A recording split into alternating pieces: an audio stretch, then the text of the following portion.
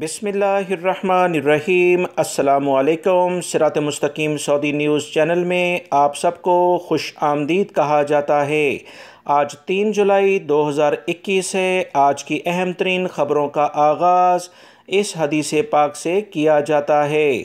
رسول اللہ صلی اللہ علیہ وسلم نے ارشاد فرمایا، لوگوں پر ایک ایسا زمانہ بھی آئے گا کہ جس میں آدمی اس بات کی پرواہ نہیں کرے گا کہ مال کہاں سے حاصل کر رہا ہے۔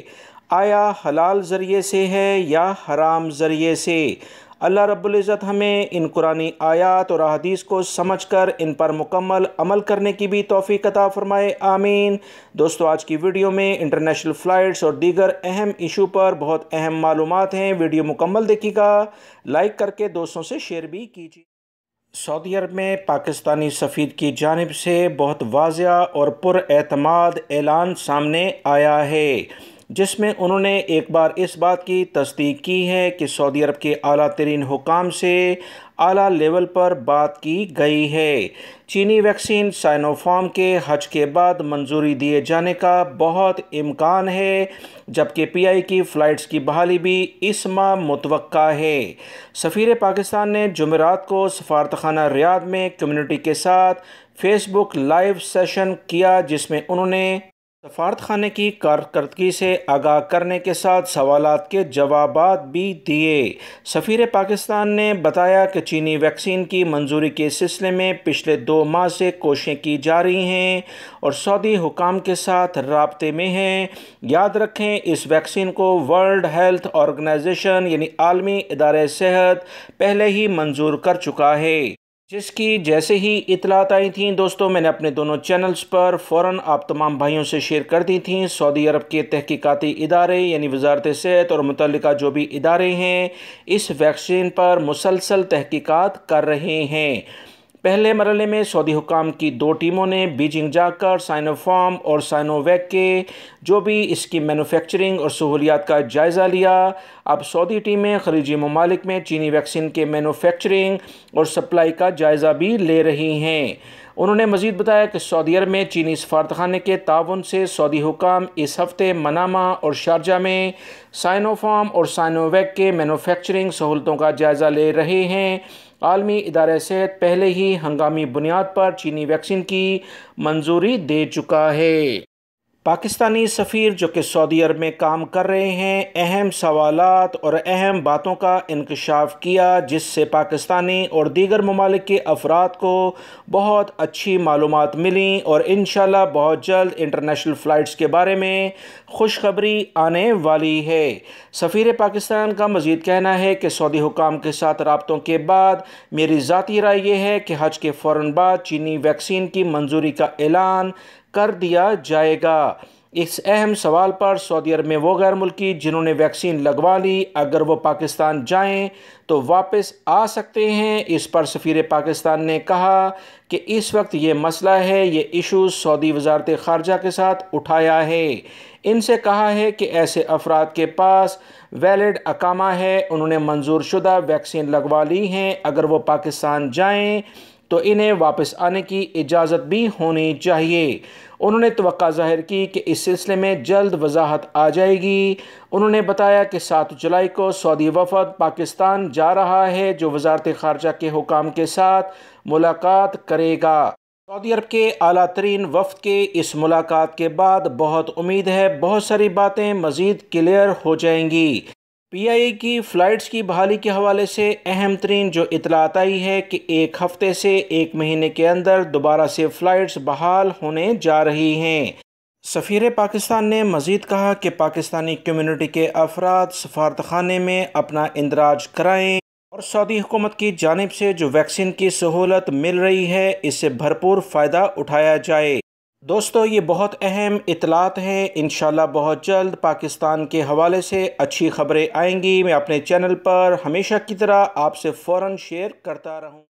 سعودی عرب میں جعلی کرنسی کا کاروبار کرنے والے پانچ غیر ملکیوں کو گرفتار کیا گیا ہے۔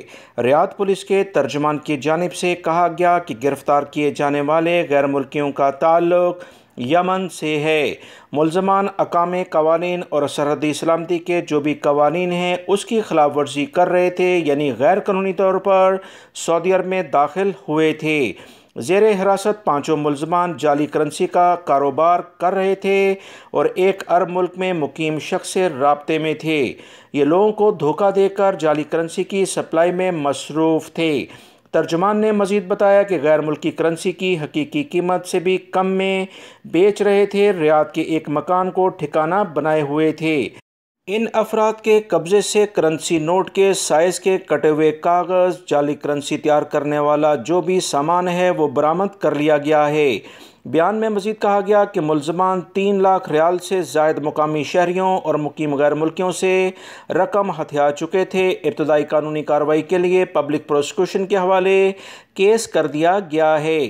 یاد رکھیں، یہ وہ لوگوں کو زیادہ تر نشانہ بناتے تھے جو اکثر لوگ کرنسی کو چینج کرتے ہیں۔ اکثر لوگوں کو ڈالر جمع کرنے کا بہت شوق ہوتا ہے۔ ایسے لوگ ایسے افراد کا نشانہ بن جاتے ہیں۔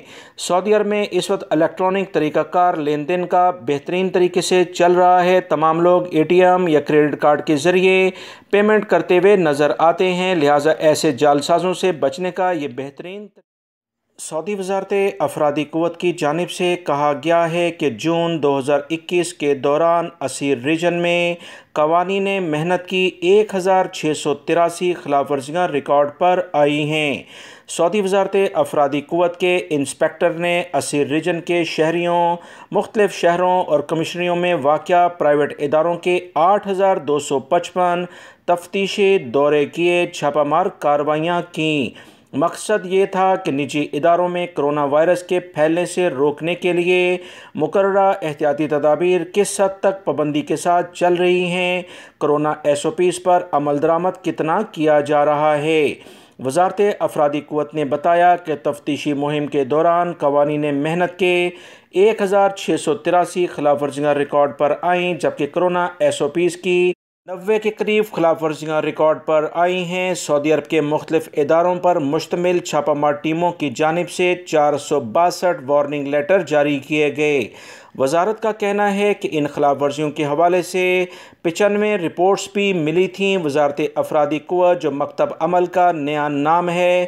ایسے ادارے، ایسے شاپنگ سینٹر، چاہے کسی بھی جگہ پر ہوں گے، ان کے خلاف کارروائی کی جائے گی، جہاں پر کرونا سے متعلقہ احتیاطی تدابیر اختیار نہیں ہوتی اور ایسے افراد جو سعودی شہریوں کے لیے مخصوص پیشوں پر کام کرتے ہوئے پکڑے گئے، ایسے غیر ملکی افراد جو اپنے کفیلوں کے پاس کام نہیں کر رہے یا اپنے اقامے کے معنی کے لحاظ سے کام نہیں کر رہے، ان کے خلاف بھرپور کارروائی ہوگی۔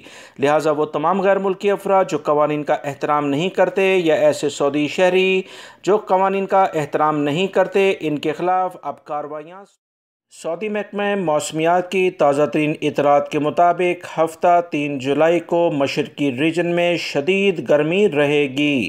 مدینہ منورہ ریجن اور ریاض ریجن کے کئی علاقے بھی شدید گرمی کی لپیٹ میں رہیں گے۔ سعودی محکمہ موسمیات اور دفاع مدنی نے تمام افراد کو گرمی کی شدت سے بچنے کے لیے احتیاطی تدابیر پر عمل درآمد کے لیے کہا ہے۔ ریاض ریجن کے بعض مقامات مکہ المکرمہ اور مدینہ منورہ کے ساحلی مقامات پر گردلو تیز ہواؤں کی وجہ سے حد نظر محدود ہو سکتی ہے۔ جزان اور اسیر کے پہاڑی علاقوں میں بادل چھائے رہیں گے۔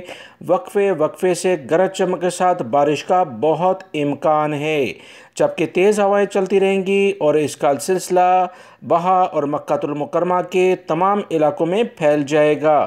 سب سے زیادہ گرمی متوقع ہے حفر الباطن کے علاقے میں اور اس کے علاوہ سترہ سینٹی گریڈ السودہ میں ریکارڈ پر آ سکتا ہے۔